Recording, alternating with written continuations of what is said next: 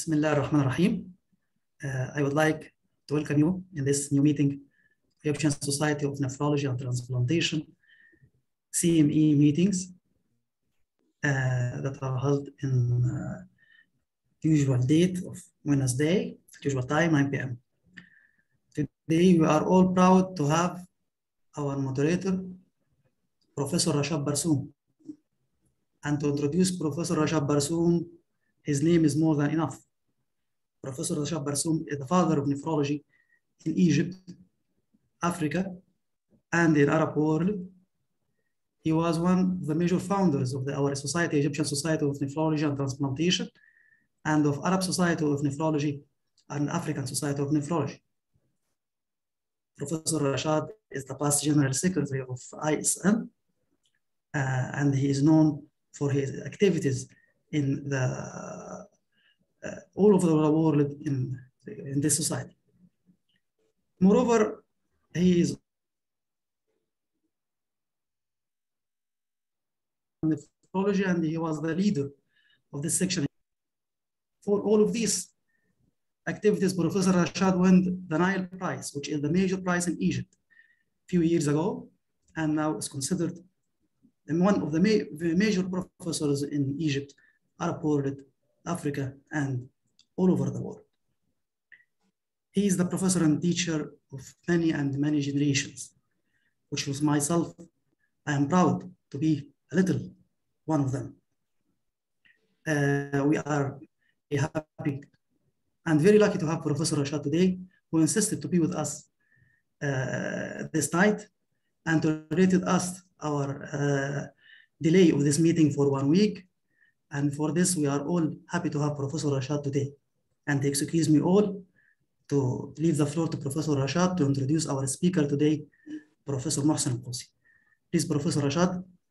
Thank you very much, Yasser, for this very nice introduction, but I want to correct uh, an information that you provided.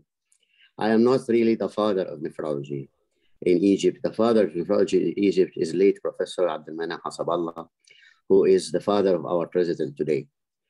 Uh, so I have to give tribute to this great man who taught me a lot uh, and uh, prepared the whole uh, scenario for me. So when I became old, um, some people called me father. If you like to call me father of nephrology, then you have to call Hasaballah the grandfather of uh, nephrology in this uh, country. I am really pleased and honored to present Mohsen Kossi because it's not a casual relation uh, that binds me with Mohsen Kossi. Uh, I don't remember, was it 25 or 30 years ago, Mohsen, uh, when uh, you were uh, defending your thesis for the doctorate degree in Asyut University. Our colleagues in Asyut uh, called me and told me, we want you to discuss this thesis because we do have a brilliant demonstrator here. And he, his challenge was that you discuss his thesis. So I got excited about this uh, uh, man who wants to be challenged for, for defending his thesis. And I traveled to Asyut, went to the major theater where he was supposed to present. And I was amazed. I was stunned to see someone of his caliber. Uh, he was so self-confident, so knowledgeable.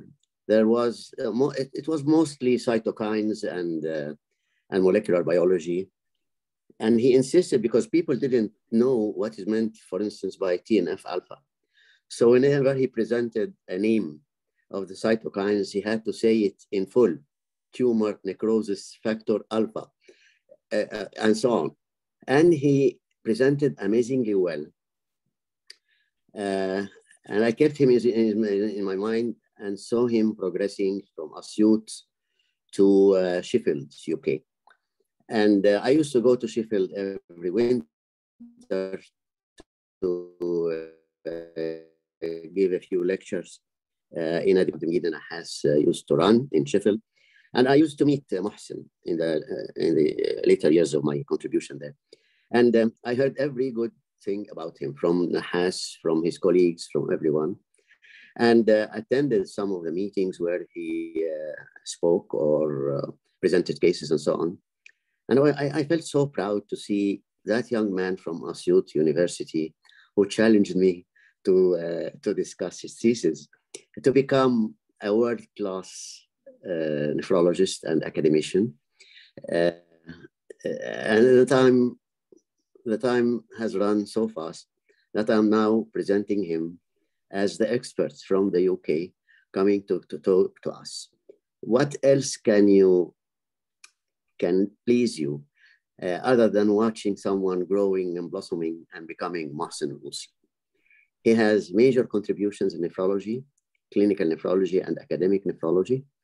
Uh, and today he is going to talk to us about uh, something very itchy in, in nephrology and the rest of science about evidence-based uh, medicine in, in at large.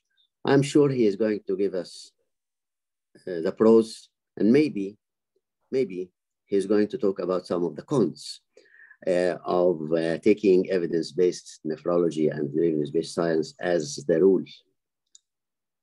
If he's not going to say so, I'll ask him to say so and tell us, is it the end of the progress in uh, science to depend on evidence base or does it have some negative sides?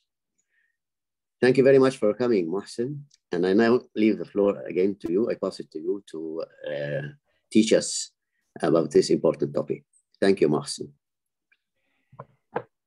Thank you so much. I'm not sure how I can just, I mean, face these words, to be honest. The only word that I can say that Professor Yasser, I'm very grateful for this opportunity that I have this chance tonight, to be honest. I'm very, very grateful. Um, uh, Professor Rashad, I just, I mean, uh, take this word from Professor Yasser. Your name is enough. I don't think that I need to say anything else. Um, uh, the only thing that I might just remind you and remind all of us that Professor Faisal Shaheen was my supervisor for this thesis. Oh, really?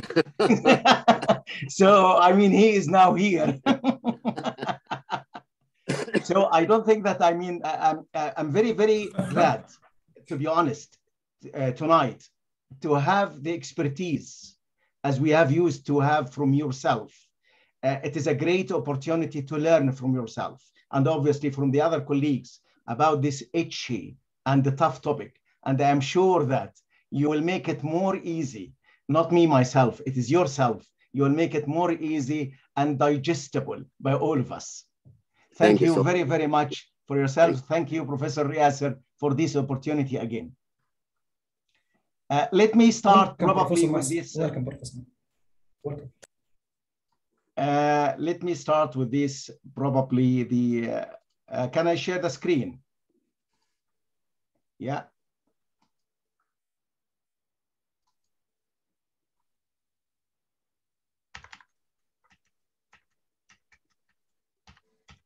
You can stop me at any time while I'm talking if there is anything is unclear.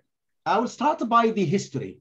In 1981, we faced with a very important question about the benefit uh, of the beta blocker on those patients who has experienced uh, myocardial infarction. And I have got two reviews in 1981 by two eminent cardiologists in two very high-ranked journals, the BMJ and the European Heart Journal, with very different opinions. Someone is pro and the other one is anti the beta blockers. As we can see, Dr. Mitchell and Dr. Hampton, both of them, they have put a review and both of them, they have bought their own support, uh, but they are opposing to each other. So it is very confusing and challenging. How we can get the answer to this question, how we can get the answer very objectively, rather than we have got the bias of the authors.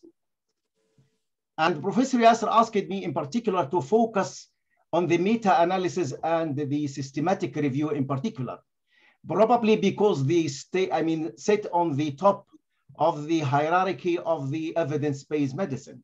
And we will see now here.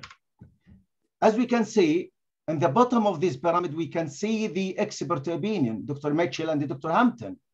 And in the top, we will see the systematic reviews and the meta-analysis.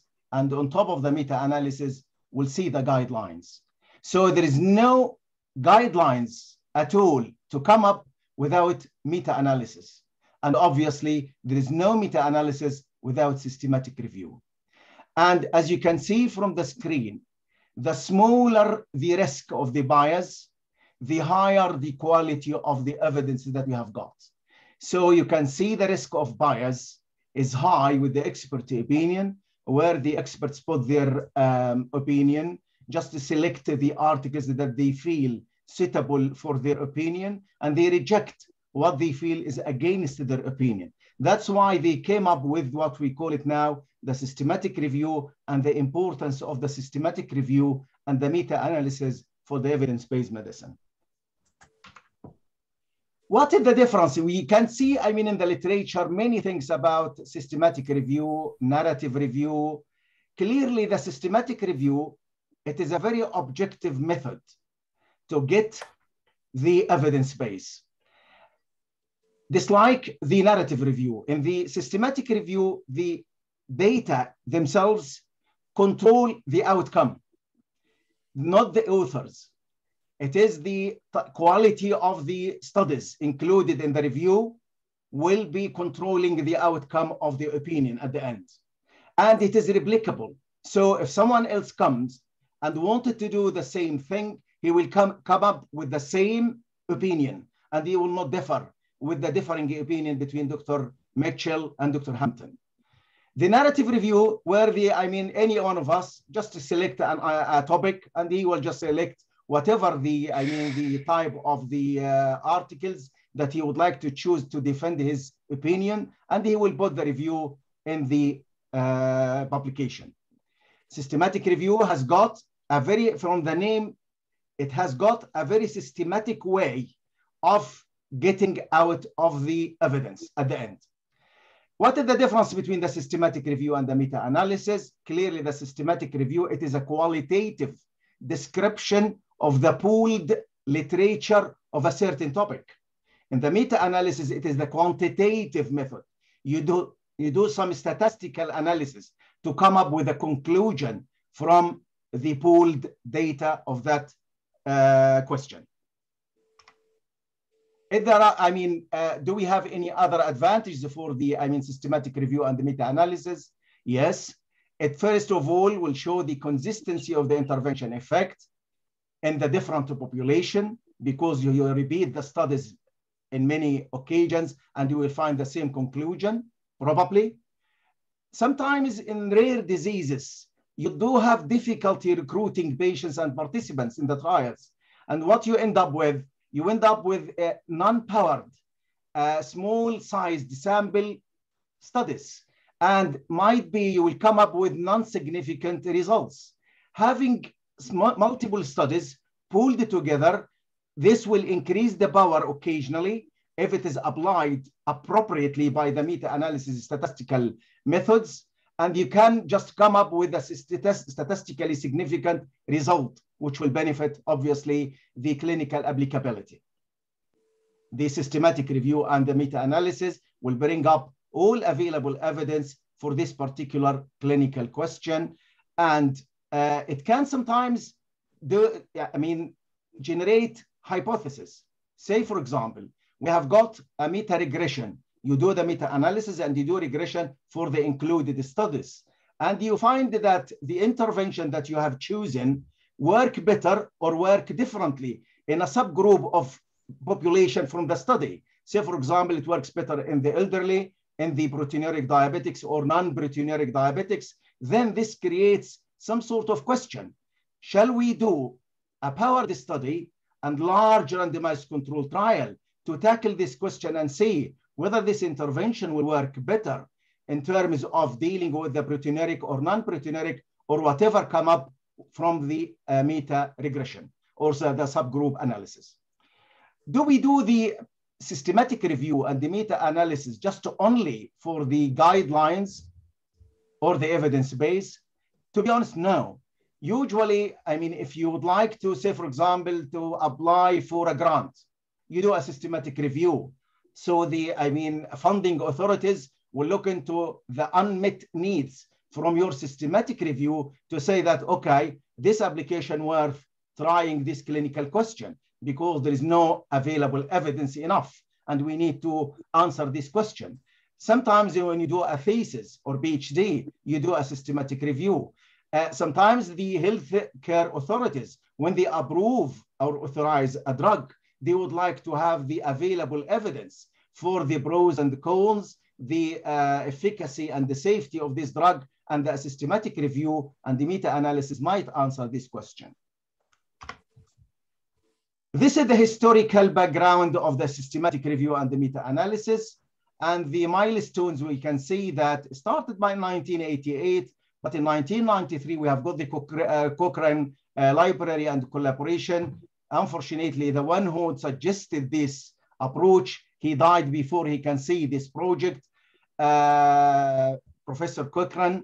And then uh, there is a group in 1999 established the way of the quality of reporting of the system, uh, meta-analysis. So the quality of reporting of the uh, meta-analysis called the QUOROM, which stands for what I'm said, the quality of reporting. And then what we call it the PRISMA statement. And we have got the latest PRISMA statement in 2020.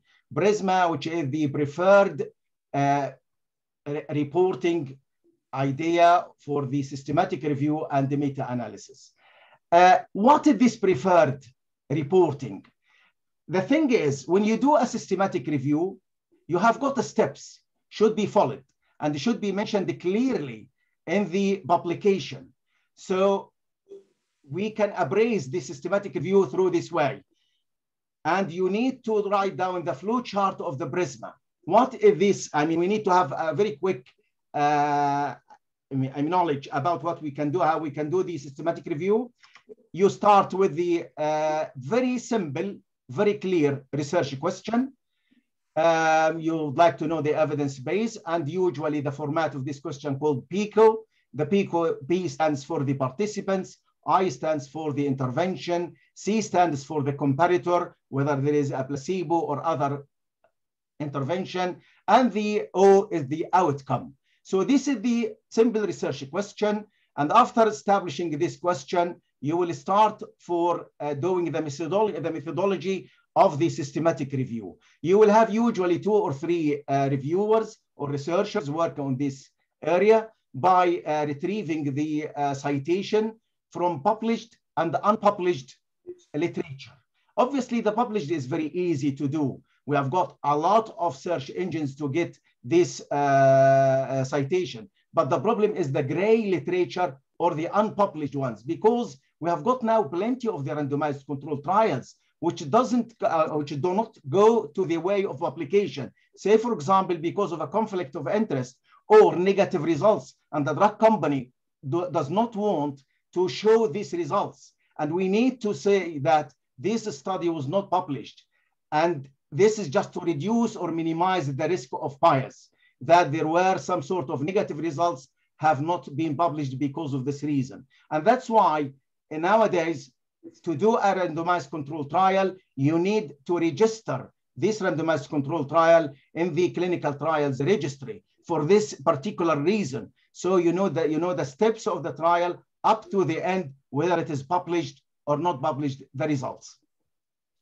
Once you have got the, uh, the uh, clinical question, you have got the reviewers, uh, and you have got the citations, uh, you will start to be, uh, after just getting the exclusion and the inclusion criteria, and you need to write all this methodology in the, uh, when you publish the systematic review.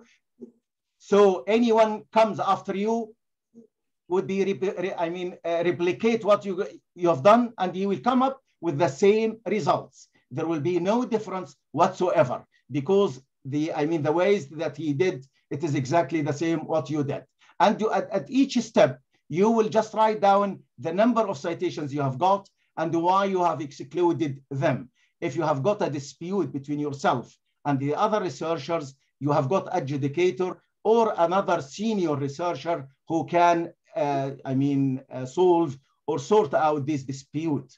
And usually you need to publish the, uh, I mean, the agreement percentage, what we call it kappa statistics, uh, because depending on this agreement or disagreement, there will be the, the, uh, the quality of the systematic review.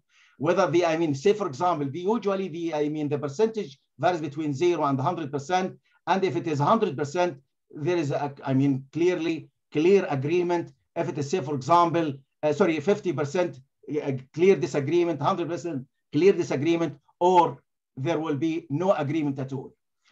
After, I mean, having the exclusion and inclusion criteria, and you put this flow chart at each step, you will end up with the number, eligible number of studies, which you are going to include in the systematic review, and you will do the descriptive uh, or qualitative analysis of the published studies for this clinical question.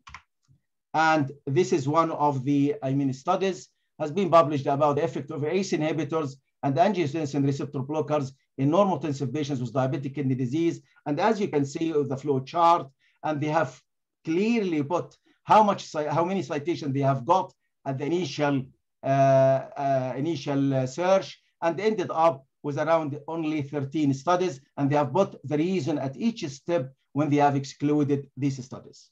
And obviously should be full agreement between two, the two researchers who have been doing this like, uh, search.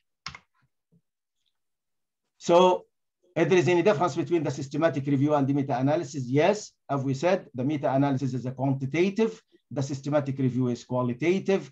In the systematic review, you can use the randomized controlled trial and observational studies.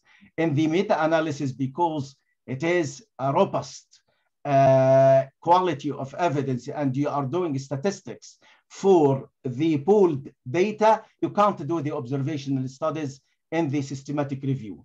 Uh, rarely to use the, them because it will be very heterogeneous. And if the studies that you are using in the pooled analysis for the meta-analysis were very heterogeneous, you can't do the uh, appropriate systematic, uh, sorry, meta-analysis. Uh, obviously, you have got to appraise the systematic review methods themselves, as I've mentioned, and you have also to appraise the studies included in the systematic review, because the systematic review is as good as the studies upon which they are based.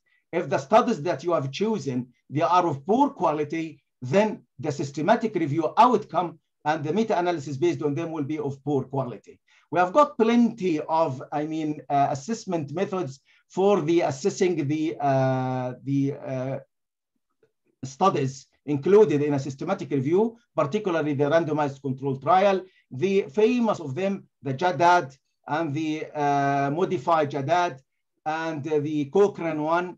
And in any of them, you will just base your analysis or assessment on the risk of bias.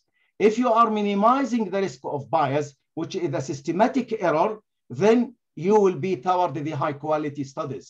If the risk of bias is high, then you are toward the poor quality studies. So the methodology, we said that good systematic review, the results section is valid, primary studies choosing the high quality, inclusion and exclusion criteria for the systematic review. You just did, uh, detailed the search uh, engine, the Medline, personal contact and experts to include every single article about this topic. And you end up with not missing any of them. And this is the inclusion and exclusion criteria. Usually you choose the participants, what sort of intervention you would like to use, if this is the RAS inhibition, or just say, for example, only the ACE inhibitor, not the angiotensin receptor blocker, the endpoints, whether you are looking for the, just say, for example, EGFR, proteinuria, survival, renal survival, whatever it would be. The, I mean, the studies were randomized or not randomized, and the reviewers are independent. And as we said, the human judgment can cause random error, and this is acceptable. But if there is a systematic errors, this equals bias. The qualities of studies, as we have said, the randomized control trial is the gold standard for the intervention and prospective cohort studies is the best, obviously, for diagnostic tests. If we are talking about diagnostic tests, the randomized control trial will not work and you need to do a systematic review for uh, cohort studies. Uh, the non-randomized and observational studies overestimate the treatment effect uh, due to the lots of bias and the study selection is based on more than one reviewer uh, analyzing review studies. Uh, usually in the systematic review or a good systematic review, as you put this, the Prisma statement, uh, you put also a diagram for the assessment of your studies included in the systematic review. And this is looks like this. I will show it to you like this. And you put the different risks for each studies included. And in each study, you will put if it is a low risk, if say, for example, the selection uh, bias risk or the uh, allocation concealment or incomplete outcome data. If the risk is unknown or unclear, it is yellow or white. If it is a high risk, which is usually more than 50%, it will be in red. And obviously this will give an insight to the reader how is the quality of the studies included in the systematic review. If the systematic review didn't include the Prisma flow chart, didn't include uh, the quality assessment of the studies, I will question the outcome of this systematic review. Uh, obviously, this ethics uh, point usually handled by the ethics committee, but you need to be aware about what are the components of the ethics that should be looked at when you are looking into a systematic review or meta-analysis. The most important one is the declaration of financial support.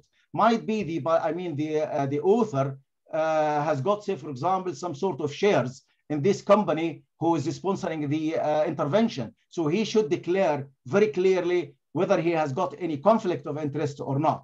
Also, the power calculation should be very clear. Uh, the justification of the research question should be highlighted very clearly and whether it is appropriate to compare or not to compare for uh, a placebo or another intervention. As we all know, nowadays for diabetic population, say for example, when we tried to do the SGLT2 inhibitor guidelines for the UK, we said together, we have been eight, and we said that if the trial didn't have a baseline of RAS inhibition prior to include the, the uh, SGLT2 inhibitor, this means that this trial will not be ethical because we know all of us that the RAS inhibition for the diabetic population is important.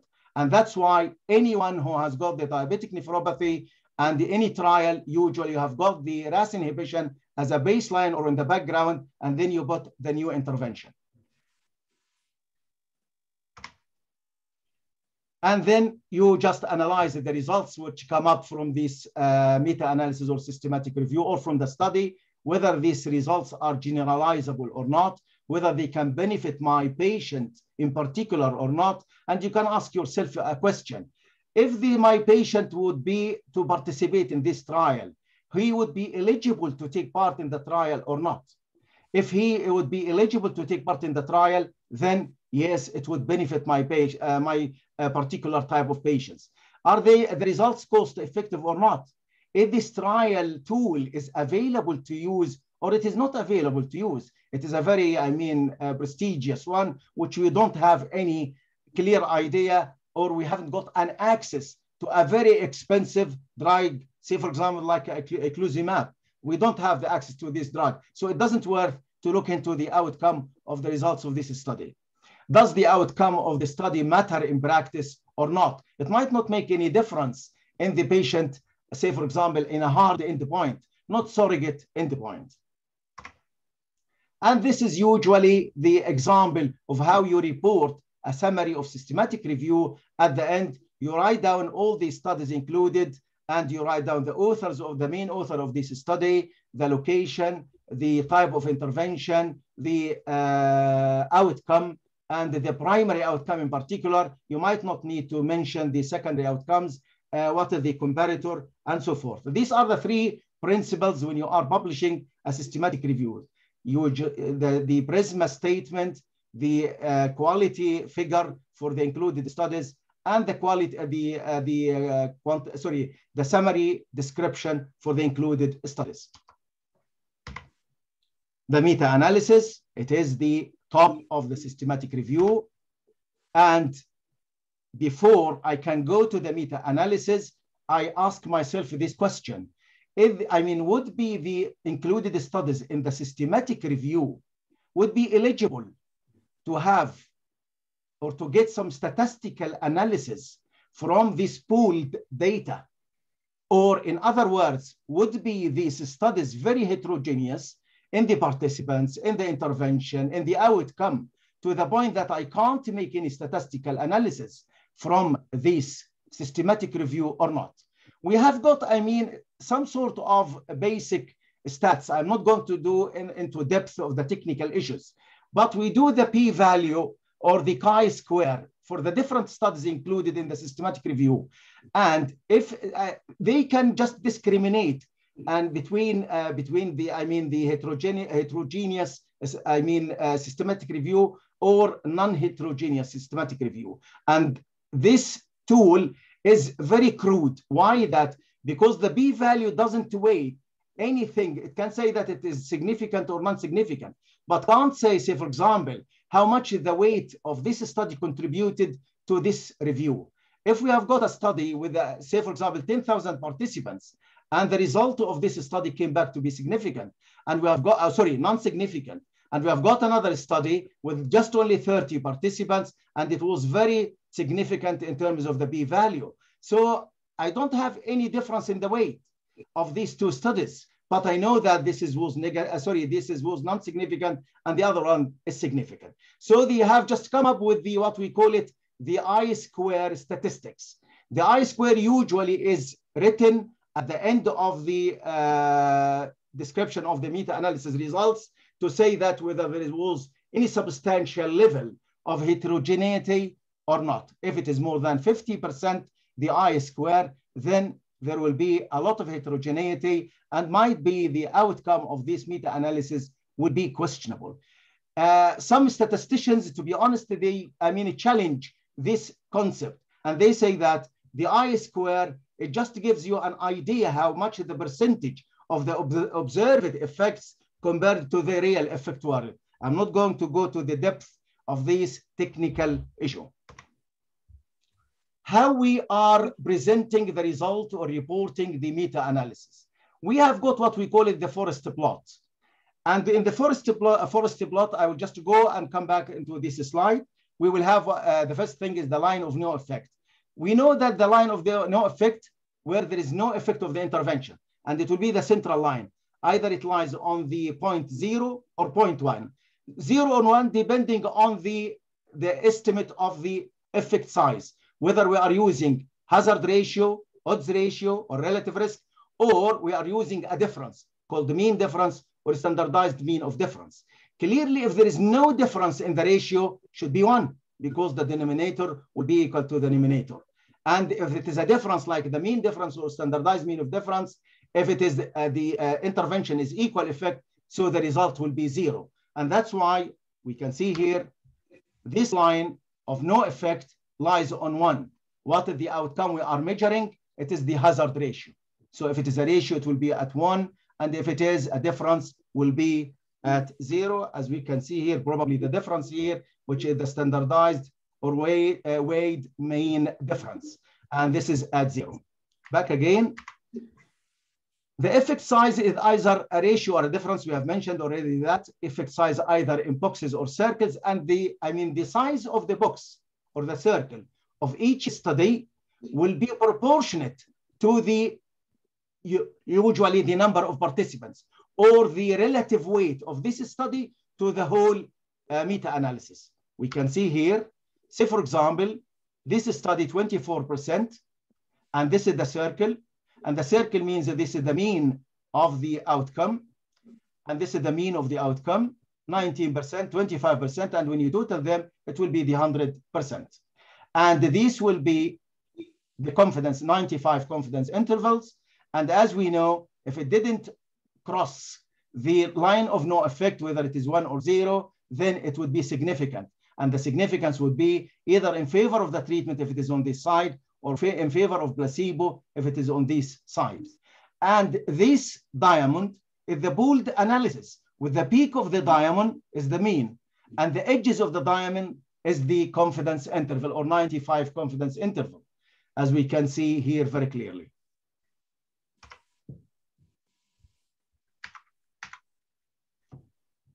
Uh, obviously, the confidence interval, as we all know that it corresponds to the study precision, and the higher precision, the higher the number of participants and the less confidence intervals, the, the small number of participants, the small, the small precision, uh, and the uh, less number of participants. And we can see this is very clearly. You can see here 2000 and the confidence interval is uh, small.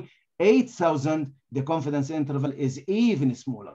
If we look into this one, you can see how much is it and the number of participants just only 10, which is very, very odd. This is the number of participants here where it is around 22 and it constitutes 67% of the weight of the meta-analysis. Uh, we said about the heterogeneity, which is the I square, which is 49%.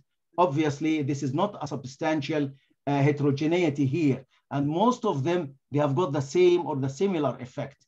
And we will come to what we call it fixed effect or random effects model. What is the difference between both? Because you need to know it very clearly. I mean, fixed effect model is rare one, although it is being used very frequently in the systematic review and meta-analysis. When we are using the fixed effect model, this means that we are using it for a similar population, similar participants, similar intervention, usually similar outcome. And you can see something like this, it will be a fixed effect. There is not much heterogeneity. But if the heterogeneity is high, then we are looking at the random effects model, which will be the more appropriate. Why we are just using these two different terms? Because simply using the inappropriate uh, statistics for the different type of meta-analysis will come up with the wrong result and you need to challenge it. Like what? We'll show you now in a minute. So the random effect model is used when we aim to generalize the outcome and when we use studies with different population, it takes into account the heterogeneity and the difference between studies. The fixed model, this is the same population, same protocol, and the results applies only to this specific type of population. And if we look at this is the multiple population heterogeneity generalized the, the results, you will use the random effect model, but you will you can't use the fixed effect model. And you can see here, if we are talking about the kidney outcome with the SGLT2 inhibitor, this is nearly all these programs nearly have got the same type of population, diabetic with minimal proteinuria, and the renal outcome was nearly the same. Why, uh, what is the importance of having, I mean, two different types of models and what is the implication?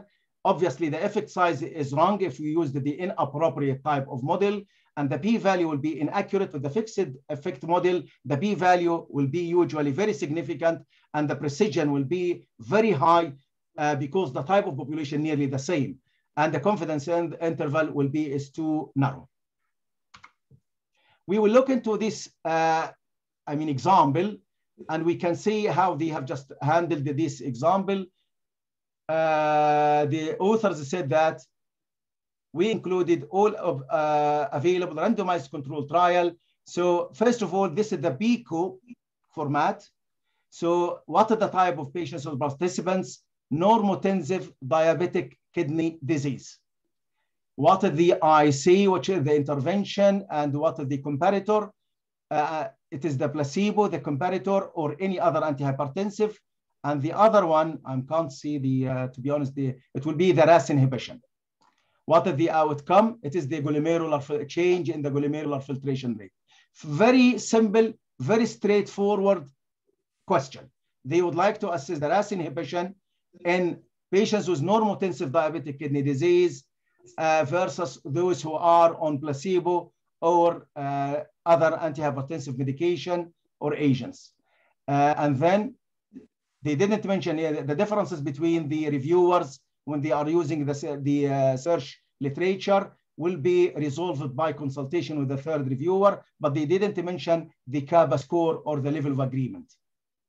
Uh, two authors independently, they have authorized this. So the methodology of the systematic review is very clear and they have searched the Medline in base Cochrane. They didn't mention anything about the unpublished uh, trial.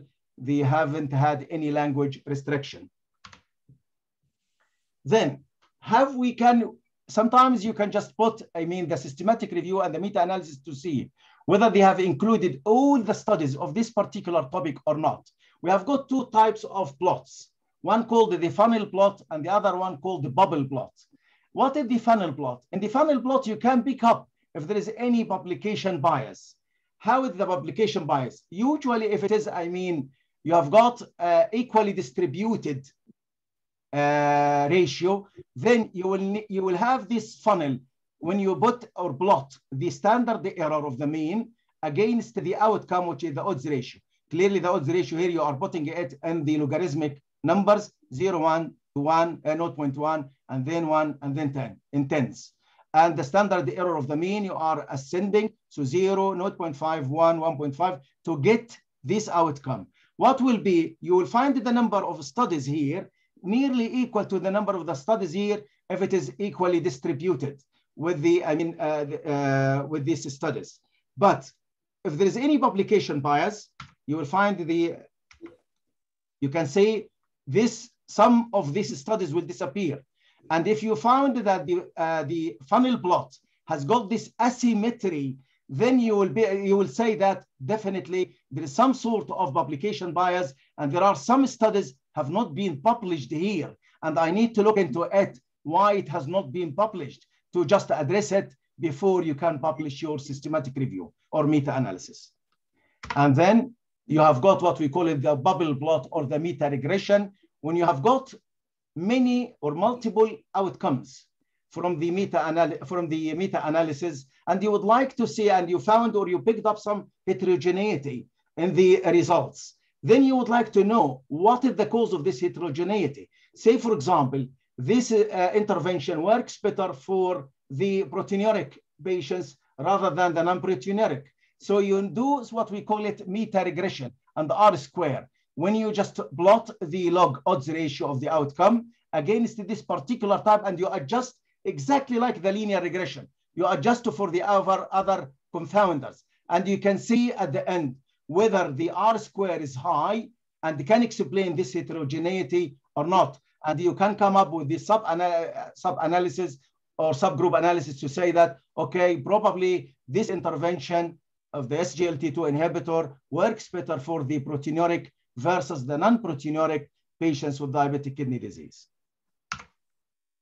This is our examples where we can see very clearly how the pooled analysis, very significant at 0.6, the hazard ratio, clearly the intervention of the uh, hospital of the SGLT2 for the hospitalization for heart failure, uh, obviously versus placebo is great with the and they reduces the risk by around 34%, uh, sorry, 32% because it is 0.68 and the I square is zero.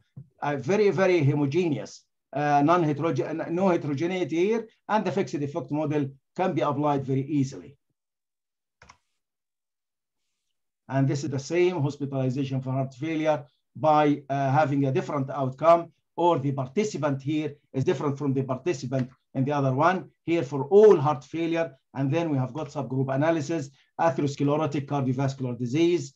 And then you can see the different outcome. If you have got atherosclerotic cardiovascular disease, still it is significant, but the uh, reduction, risk reduction is around 30%. But if you uh, have got this uh, without the atherosclerotic heart disease, the risk reduction is 37% uh, compared to the placebo. This one is, uh, to be honest, I don't know. The, I mean, it is looks to me as hetero, I mean, I square is zero. And as I'm saying that there's some people, they say that the I square could be challenged. But anyway, they have used the fixed effect model and they are claiming that this is all uh, non-heterogeneous studies.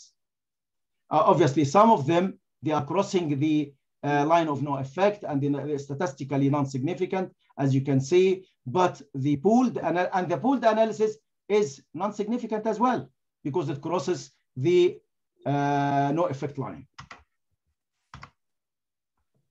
Uh, there are many other uh, standards of, I mean, looking into the, uh, the quality of the studies other than the JADAD and other than the Cochrane. We have got something called the CASP, and the CASP have got assessment tool for the systematic review, for the meta-analysis, for the randomized control trial and you put the checklist for each one and you can come up with a conclusion to say the quality was high or and put it on the grid or put it on the diagram that I mentioned. Uh, obviously, I can't leave without just mentioning that when we just did uh, this uh, book about the role of randomized control trial in uh, clinical nephrology, me, uh, obviously Professor Al-Nahas was the leader and myself and uh, Dr. Al-Kawaja, we have put our own uh, assessment tool for the randomized control trial quality. And we have put this checklist and we said that we have put some weight for each one of them, whether the randomization procedure is well described in the uh, study or not, whether it is double-blinded or single-blind. If it is double-blinded, will take a score of two. If it is single-blinded or not blinded at all or not mentioned, takes minus two. Uh, we look into also the number needed to treat. If it is less than 100, this means that it's a high quality study and it will benefit because of the results will benefit a lot of people. Uh, can the findings be generalized or not? And also if the analysis of the statistics of the study was intention to treat or uh, per protocol treatment, completely different. And the dropout rate, if it is more than 25%, this means that I can't rely that much because the attrition bias will be very high. Thank you. Thank you very much, uh, Dr. Mohsen, for this very instructive uh, presentation. It is really inspiring and uh, explains a lot of, uh, of the dark points in our understanding of the statistics that we read. you are actually passing to our young colleagues the important message that not all what is printed and published becomes uh, becomes a fact because you ask a student about something, he mentions jargon. You tell him this jargon is jargon, and he says مكتوبة يا باشا. طب ما هي المكتوبة دي يعني يعني ما مكتوبة اللي عايز يكتب يكتب. المهم إنه this critical mind that when you read something, if you know how to do this analysis, fine, you can do it. But if you don't know how to do this analysis, just take it with caution because uh, at one point somebody is going to challenge this information and maktuba ya basha doesn't really mean uh, it, it is a fact. Uh, what you mentioned eventually leads to a guideline. And uh, as I uh, mentioned when you, before you started, um, are we all happy with the guidelines today? Or are there drawbacks to uh, the guideline developed through this uh, whole path that you mentioned?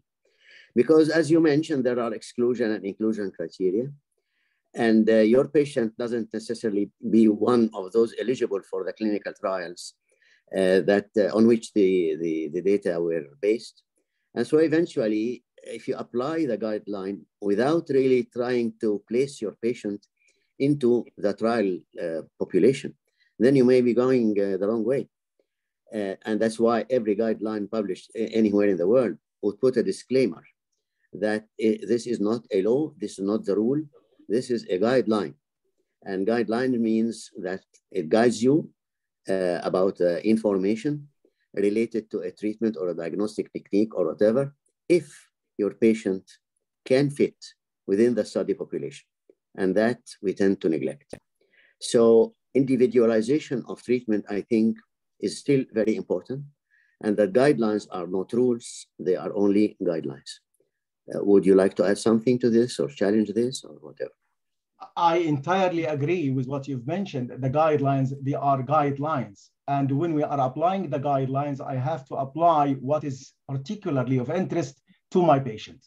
And uh, that's why maybe the importance of this talk is just to see whether this, my patient, is one of those patients who can be part of the trials or part of these guidelines or cannot be. So I'm sure that it is not something that I mean, uh, I need to take it uh, as a grant and without just looking into what's going on. I need to have the, scene, the scene behind that. And at the end of the day, it is guideline rather than something uh, solid. And I need to just, I mean, apply it perfectly as it is being mentioned.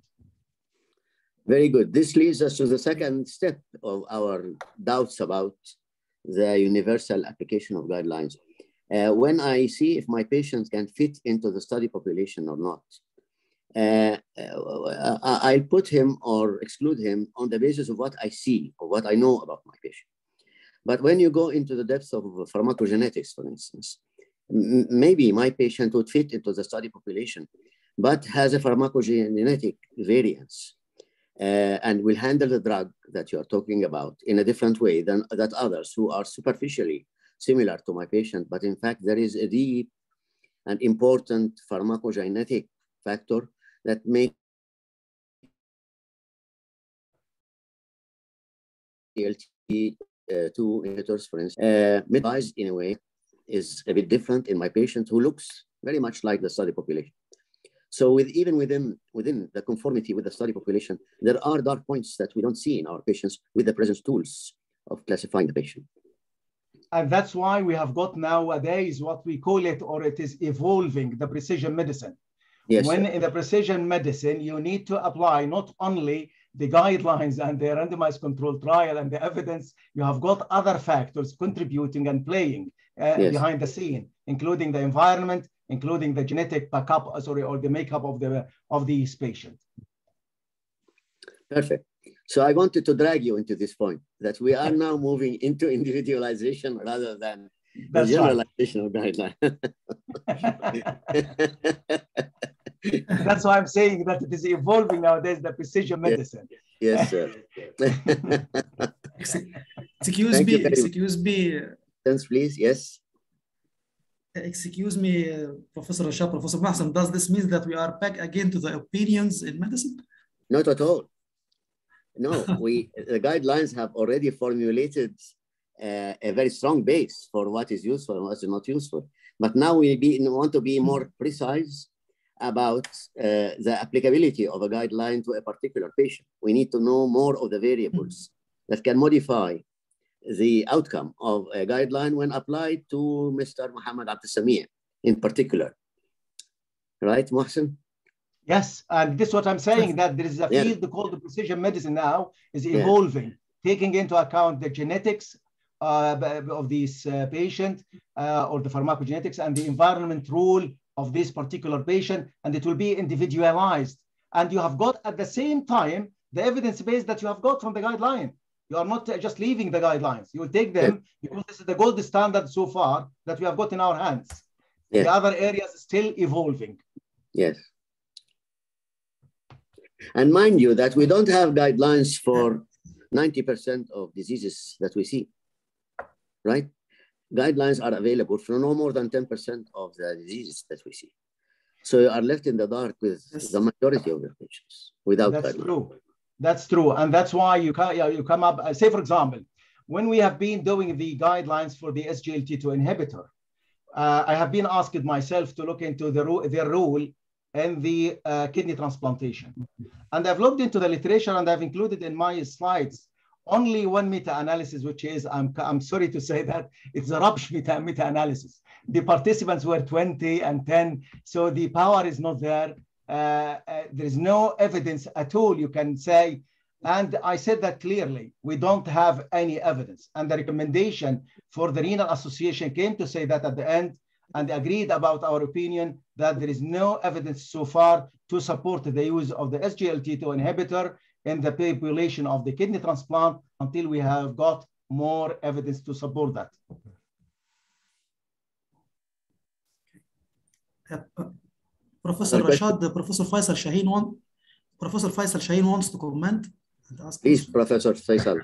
ازيك يا فيصل؟ اهلا وسهلا. نور اهلا اهلا فيرتشوالي يعني. اهلا وسهلا.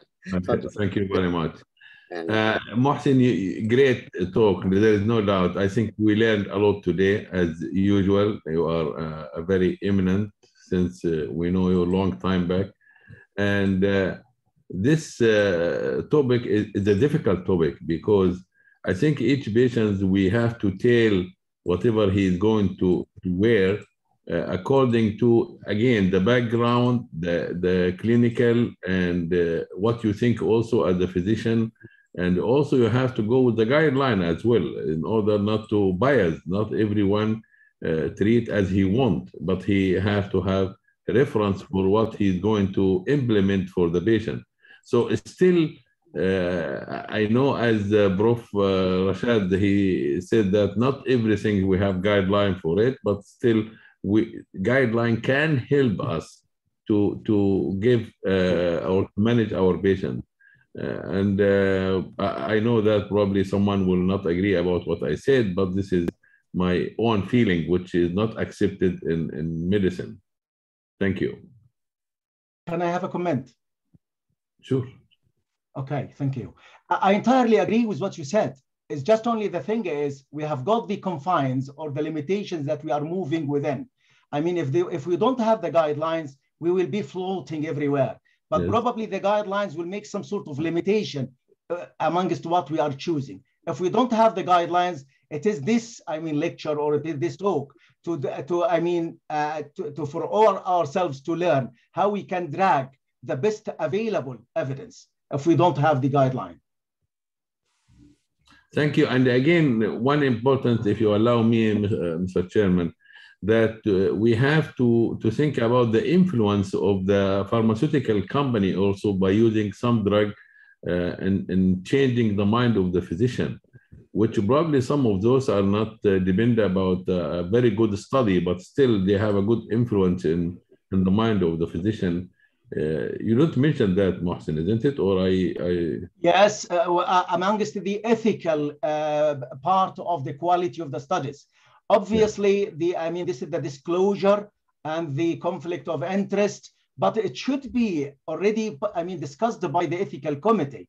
But it be- would be great at the end of the day to mention clearly that if you have got, say, for example, any conflict of interest, to write down in the paper, or you have got any funding from this company or that company, so I will be aware what's going on.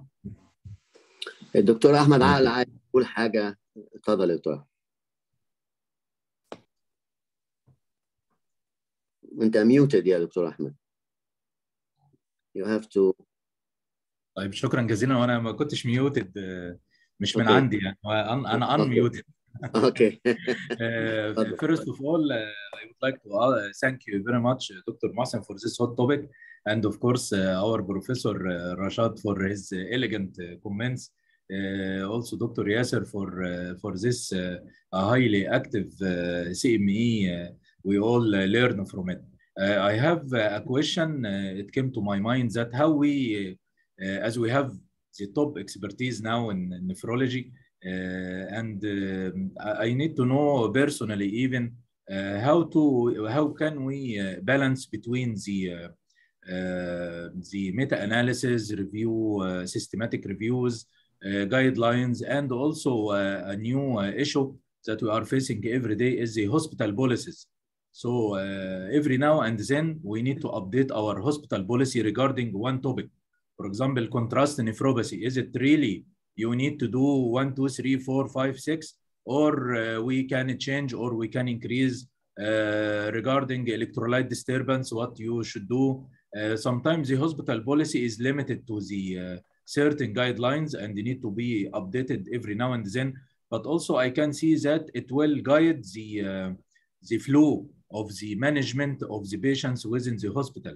So one hospital, uh, you can find uh, most of the management by the resident is following the hospital policy because if he breaks the policy, he will be somehow uh, it will be against the hospital policy with certain uh, action from the um, admin service. So I need to know uh, from from your great experience how we can uh, manipulate if we have a patient is not uh, really uh, within the scope of the guidelines. And also uh, we have this hospital policy in front of us. How, how can we manipulate such patient in the new evolutionary hospital and healthcare environment? Thank you very much. Oh, thank you. Uh, obviously, I, I, mean, before I can start on this thing, no guideline without systematic review, uh, without meta-analysis, and no meta-analysis without systematic review. The question would be very difficult when you don't have the material, or when you don't have the it's a rare disease, and you don't have the uh, the material to just get a, a well-designed systematic review and the meta-analysis.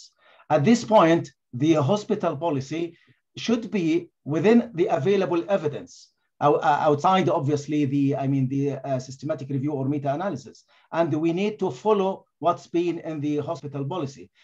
I mean this is the rule in my opinion this is the rule of the organizations in each country. Say for example the renal association in, in the uk they set up their own guidelines. And when they are setting up their own guidelines they look into the international guidelines what suits the UK in particular, what does, I mean, disputes with our uh, patient population, uh, healthy economics in terms of whether we have got this available or not available. And then we come up with our own guidelines to suit our patient population. And I believe that, and still we have got our hospital guidelines, which should be in uh, essence consistent with the national guidelines. So this, I believe, the role of the associations and the uh, and the health authorities to say, for example, uh, establish guidelines universally for the I mean for the uh, country, and then the different hospitals will just establish the guidelines derived uh, from these uh, national guidelines, what suits the local environment. If there is no systematic review and no uh, meta-analysis, then it will be expert opinion based on the available evidence the hospital will do, and I will just have to stick to what's uh, available. To be honest, this is my uh, personal opinion. I'm not sure whether Prof. Rashad would like to. Well, I, I was uh, involved in uh, two or three of the KDIGO uh, guidelines. And um, uh, we, we had a very hot discussion at the beginning of how compelling would be the guideline statements to the world, to India, to Zimbabwe, and to the United Kingdom. Uh, and we agreed that uh, we have to express every item in the guideline by a letter and a number. The letter ABC is the quality of evidence, and that is science. All what Mohsen has mentioned has to end up with a, a, a letter. Level A is a very high scientific thing based on meta-analysis and blah, blah. And B is uh, less and not specific the same population and so on. Uh, and C and D. That is uh, academic science with evidence and you can't change it. In India, like in the United States, like in Egypt. But then you put a number. Number is the recommendation, whether to implement this guideline as your first choice or second choice or third choice, depending on local factors, including cost, including comorbidities in a community, including environmental factors and so on. So a level A uh, evidence can be A1 in America, but A3 in Egypt, because we can't afford it, for example. And I think this is the area where a hospital policy can work through. The hospital policy has no right to change the level of evidence. They can't repeat all Mohsen uh, mentioned, uh, but they can say that in our hospital, we are a district hospital, our patients are too poor, our budget is too limited. We also have parasitic diseases here, which can modify the response to cyclosporin and so on. So eventually the hospital can, can degrade the level uh, of uh, evidence on the, on, on, uh, on the level of recommendation rather than value, the real scientific value of something. But eventually it needs a very um, understanding board in the hospital to be aware of the facts by A, B, and C, and aware of the reasons why you are going to degrade it or uh, upgrade it, uh, and explain this to the doctors that we are going to put this A as A3 because blah, blah, blah. Uh, then uh, once it's agreed upon by an illuminated conscious uh, readers in the hospital board, then it has to be followed because you can't have a heterogeneous uh, treatment in a particular hospital. You have to do what the hospital board says. If you have an objection, then go to the hospital board, tell them I want to change the level of recommendation because but uh, I think both the guideline is correct and right and needed, and the hospital policy is also correct and right and needed. Thank you very much, Professor Rashad and uh, Professor Mohsen, for this elegant discussion. Thank you. Any more this uh, questions or remarks or comments to Mohsen? Uh, yes, Professor Rashad, Professor Rashad, Dr. Baha wants to comment. Yes, please. I, I want to ask a question. Oh, I think, uh, thank I think you. Yes, yes. Thank you, CSR. Thank you, Professor Barsoum and the company, Professor Mohsen. Well, I have a comment and question, please. Uh, first of all, comment about the guidelines. Not all the guidelines dependent upon uh, the systemic review or meta-analysis. For example, we have the KDIGO guidelines on high blood pressure. They mainly depend on the SPRINT trial. And there's a good, a large bias in the trial because they depend on the automated, unattended automated office blood pressure, and they build on the guidelines on the method of measurement of blood pressure, which is not applicable in most of the hypertension clinics or even most of the world. So the guidelines here put us in a big trouble. We have to apply the guidelines or at least follow the guidelines, but the method of measurement or methods of application of the guidelines doesn't doesn't uh, apply in my country or my clinic. So there's a lot of dilemma about the guidelines and how they depend on the, the clinical trial. And again, for example, in the heart failure trial, for example, we have uh, interest with ARNI, sacubitril valsartan, given indication of 1B depends on one clinical trial, one randomized clinical trial. And the commentator said that we not have to repeat the trial or do meta-analysis. We believe in the trial because a large number of patients were included and they give a class 1B indication for heart failure with half ref or HFpEF. So the guidelines doesn't depend only on the uh, meta-analysis. If there's a meta-analysis, that'd be nice. But if there's no meta-analysis, they depend on the randomized, large randomized clinical trial, and they put it. And there is a lot of bias in here because sometimes who did the clinical trial? The guidelines. And this is a big bias that we see in a sprint. This is a comment and uh, question for uh, Professor Kossi. Mohsen, uh, you put a meta-analysis for SGLT2 and kidney. Uh, when you revise the data in the different clinical trials in the SGLT2, you find the different population. Patient, for example, in the EMPA-REG study, all of them were established cardiovascular disease. When go to the canvas or the declare TIMI, only 40% of them had established cardiovascular disease. Uh, again, in credence, patient with credence has proteinuria, more than 300 up to 5 grams proteinuria.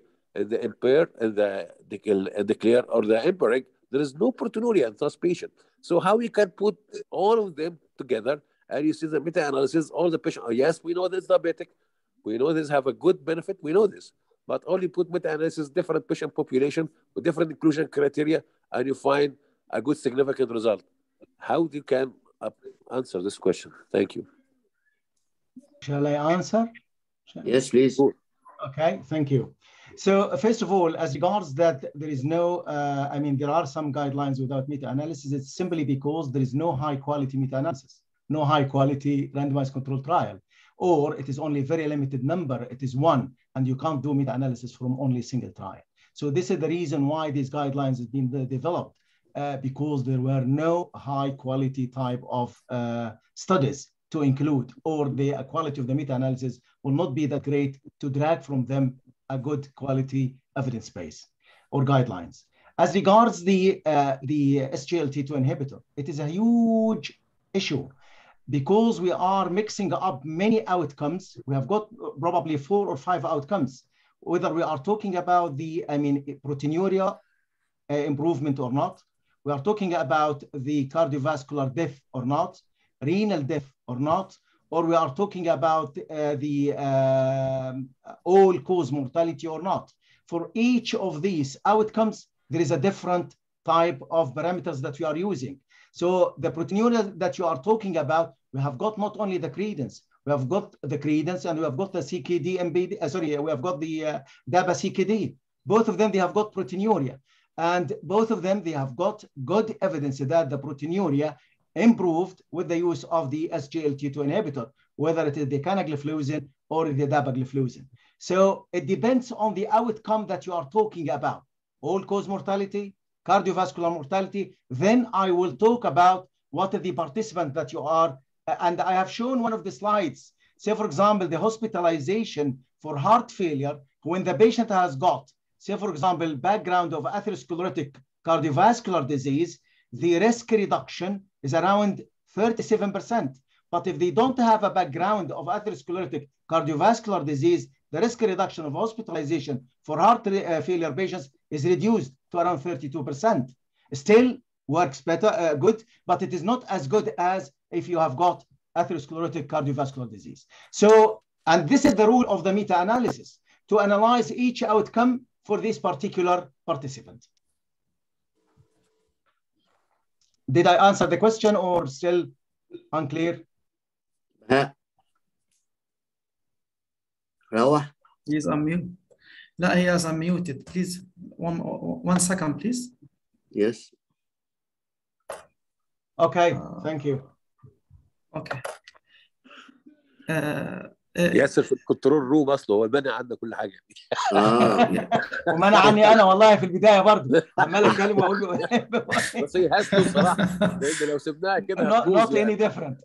هتبقى في بايس كتير وتبقى نون راندومايز فمش هينفع فيعني I got the idea. Thank you so much, Professor. Thank you. thank you you. Thank you. other questions to Dr. Martin I, I have a question, Professor Rashad, please. yes please go ahead آه. افتح له دكتور ميكروفون محسن آه، اوكي ما هو انا انا ياسر عبد الحميد اه هو انت ياسر اوكي Oh, sh- shall I mute you? Uh, تفضل يا حبيبي someone muted me huh? اتفضل. did, did we thank you Uh, did we gain much professor mohsen from using uh, the confidence interval in interpretation of the studies adding more to the power of uh, meta-analysis and systematic review Did it make, make a, big difference in using this statistical uh, method to be honest, I mean, this is too technical and I don't like to complicate the issue. But I mean, the basic rule is the high precision, the narrow confidence interval, the very high participant uh, rate. So you can see that from the studies with the high population, high number of population, the, uh, and the, uh, the confidence interval will be very narrow and the precision will Very be narrow. very high. okay it's clear. Very very smart and answer and very clear answer. Thank you. Yeah, and you can see on the uh, on the uh, uh, the plot, you can see in the funnel plot that most of the small studies with the high uh, with the low precision at the bottom of the uh, of the pyramid or the funnel, and the high precision one which comes to near to the true effect size uh, uh, than the top of the uh, funnel or the pyramid with a very high number of participants and narrow uh, confidence interval. thank you so Yeah. much thank you so much professor Is Mas. احمد عادل عادل عايز يتكلم يا ياسر اتفضل يا احمد بس ادوا له صوت ادوا له ميكروفون unmute him يعني لا هو okay please professor ahmed do you want to comment again yes Uh, I have uh, only one one question, and the answer uh, I think will be directed to uh, our uh, our uh, fresh uh, residents and uh, nephrology fellows. Uh, that uh, it came to my mind that why I, now uh, I need to read any study. Why not I go directly to collect all the guidelines in uh, two hours and put it printed and put it in front of me on the desk and memorize all of them and uh, go ahead to implement this on my clinic uh, or during my round with my uh, supervisors. Uh, what what will drive me to to read all this sophisticated meta-analysis, uh, research, and uh, and I go on the classic way to start from the from the basic studies and to go deep, especially if I'm not involved in active research because I know when we do master degree or uh, PhD or uh, even uh, research for any kind, official kind that direct us to do it instead of the special interest, we can do it. But if, if just a clinical fellow and he want to, to do a clinical work, what will drive him to read the research in uh, and not only guidelines? And thank you very much. Okay, thank you.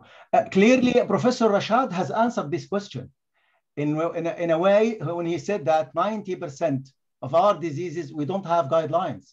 Now, if we don't have a guideline for 90%, nine out of 10 diseases, we don't have guidelines, how he is going to use the best available evidence without knowing how he can read these papers?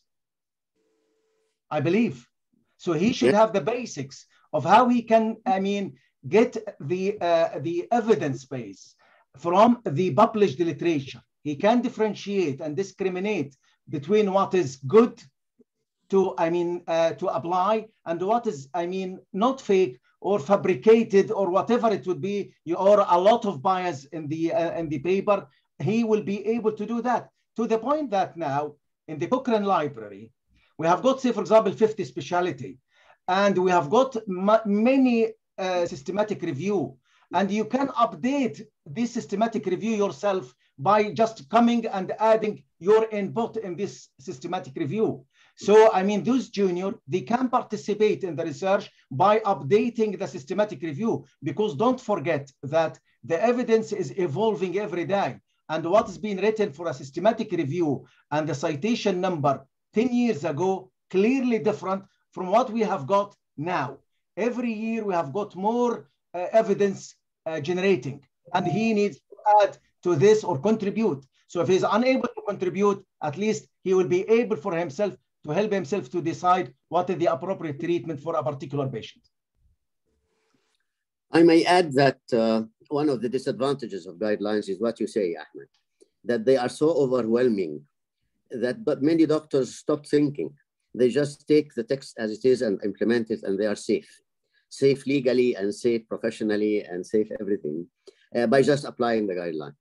Uh, doctors used to think more before the guidelines were available. Uh, but uh, I think we should not encourage people to, uh, to just get lazy and only read what other people have made for them. They still have to think they have, still have to for an outcome of treatment or diagnosis on the basis of guideline or the particular patient and try to think around this. If they don't improve, then what is the point? They're not improving, or the test does not apply very much, and so on. So we shouldn't encourage them to be overwhelmed uh, uh, so much that their brains become lazy, if you wish. And I must remind you that every guideline would, would write by the end of every chapter a list of research questions. Uh, so that at least can be taken in consideration and stimulate them to do some more work to complete the information about the guideline. So guideline is, is great, it's very useful, uh, but we should all be aware as senior uh, nephrologists. We should be aware of the possible side effects of using guidelines all the way uh, by our younger colleagues. Agreed, Mohsen? Yeah, uh, I, I, I, I, mean, I don't think that I need to add anything. Okay, thank you. I can't I add the, anything. The, the message is now clear. yeah. Any other questions? Thank you. then I return the. No more, no more, sir, and no more questions. No more questions. So uh, it's uh, Yasser that uh, has to conclude. Thank you, Yasser, for inviting me and for giving me this wonderful opportunity uh, of uh, learning from Mohsen, uh, as I mentioned earlier on. تفضل يا ياسر. شكرا يا محسن. Thank you, thank you, Professor انا اللي Rashad. متشكرين جدا انا اللي متشكرين جدا جدا جدا آه، آه، واحنا كلنا متشكرين لحضراتكم جدا. Thank you, Professor Rashad, for being with us in this his heavy scientific scientific night explanation, explaining all of these informations to us and illustrating many and many points. Uh, thank you, Professor Mohsen, for this highly elegant uh, talk uh, that I felt really we need to revise it and repeat it at ease many, many and more times to uh, understand how systematic reviews and meta-analysis uh, can we go with. Uh, thank you for this uh, heavy night and I hope to repeat uh, this night many and many times with how to understand research and uh, to go with uh, these to understand and easy apply research and uh, evidence-based studies. Uh, excuse me to conclude uh, this session. And uh, we have uh, no more sessions this month as we have our major scientific activity, ESNT uh, 14th Congress, which will be from 15th to 19th February this month. And we hope to meet you all physically during the activities of the conference and we will resume inshallah back our activities in the start of March and we will announce about our schedule uh, before uh, this month. Thank you again, Professor Rashad, and we are Thank proud you. to have you uh, with us today. Thank you, Professor Mohsen, for your highly, highly elegant, highly illustrative, a simple uh, talk. And excuse me to conclude. Sabah al-khair. Alaikum wa rahmatullahi wa barakatuh. Thank you. بالسلامة يا محسن. You. عايزين أنا اللي متشكر. أنا اللي والله نفسي أجي لحضرتك أتمنى إن حضرتك يعني. إن شاء الله متشكرين جدا وأنا سعيد إن أنا شفت حضرتك النهارده. ميرسي ميرسي.